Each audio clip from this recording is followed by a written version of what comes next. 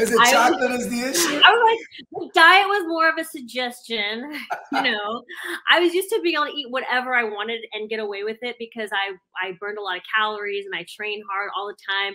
So I just was like, oh, you know, but I did add a lot more protein to my diet, which actually I remember thinking, God, I wish I would have been eating more protein while I was training. I probably would have had faster times. I remember going through this kind of this you know aha moment while i was eating more for bodybuilding thinking god this actually is really fueling my workouts. This is really making me feel stronger. What have i been doing this whole time? You know like i've been doing it all wrong.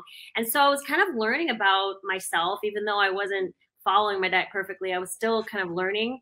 And when i did the my first show i did figure there was only figure bodybuilding or fitness that's right? correct. That's correct. And so I did figure and I won the overall on my first show. And I remember like, okay, well maybe this